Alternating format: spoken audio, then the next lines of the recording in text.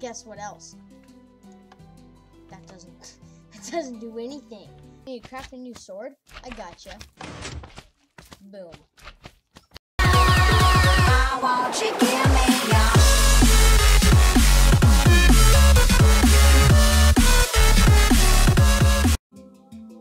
Hey guys, it's K-Raider here, and today we are going to be looking at this.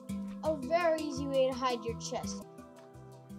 So basically, this is a very easy way to hide your or your crafting table if you don't want anyone using it. Um, I don't know. You could use this with other blocks too. Like, oh, I don't want anyone to see my magical dirt block.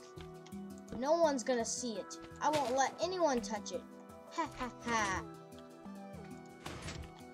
Hi there. So basically to do this, what we're gonna do is grab these things right here. And we're gonna just put down three right here. Then we're gonna put a piston facing up upwards, putting a crafting table on that.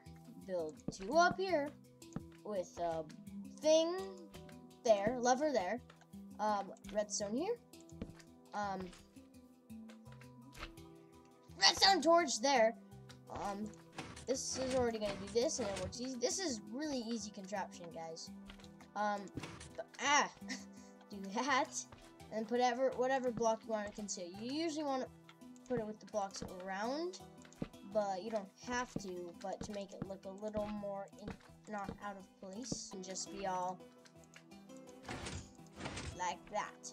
So up from up here, no one sees that. You can use stuff to conceal the thing up here, like I used the stairs right here, and then you just boop, and this comes up. You, can use other blocks too, not only crafting table, but yeah, so that's cool.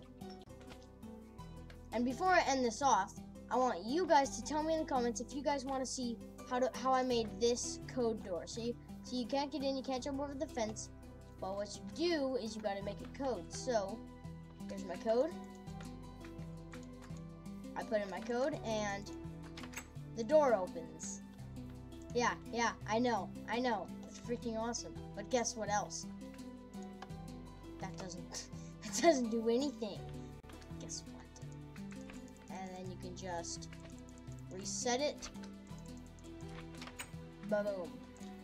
So um if you guys want to see how to make that, it's very, very simple. There's just this, this, and that, and that's all. So if you guys want my next video to be that, tell me in the comments. And there's that, that, and that. I will see you guys next time. Peace.